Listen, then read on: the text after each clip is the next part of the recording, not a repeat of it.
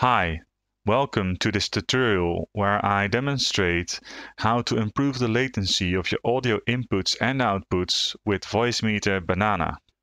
Here you see my instance of VoiceMeeter Banana and I have a couple of output devices.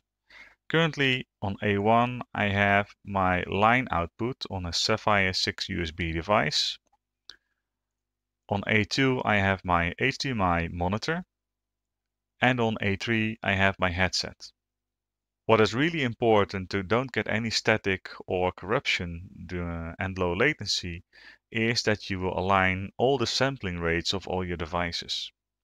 To do that, go to the Windows Playback devices and make sure that for all devices in use by Voicemeeter Banana, that on the Advanced tab, the format has the same sample rate.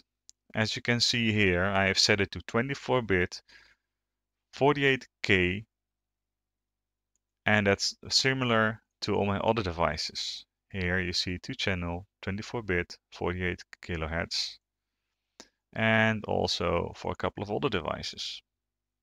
So most devices that support both 24-bit and 48K I've set to those two settings.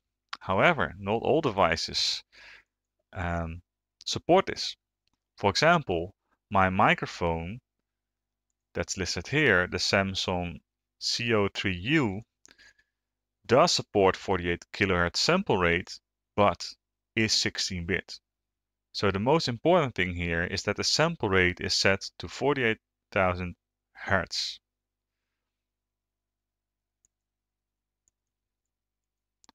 We go to system settings and here we see that the sample rate for most devices is 48,000 Hz, but not the output device.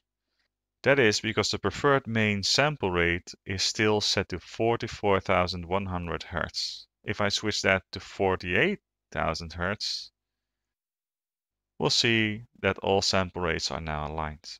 If we now lower the buffer setting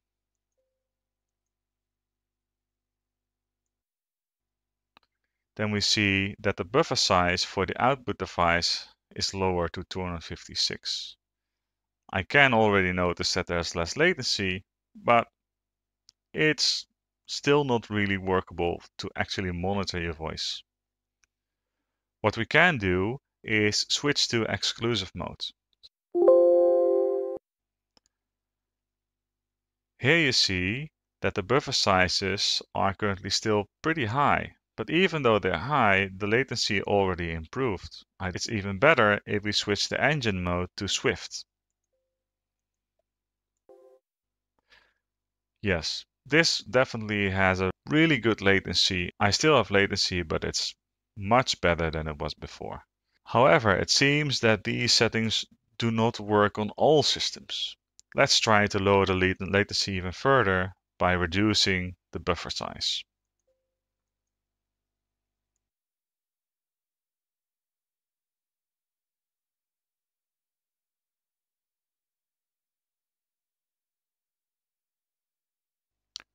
As you just seen, there was a lot of information presented and you didn't hear my voice. That obviously indicated that it wasn't working. So 128 bytes is too low for my system or my drivers. Let's try something else.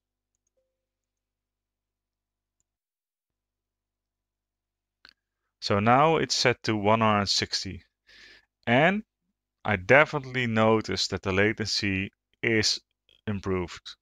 I still have a little bit of latency, but it's good enough. This is really workable. And you can see that as well on, on the buffer sizes here. This states 160 and this states 80.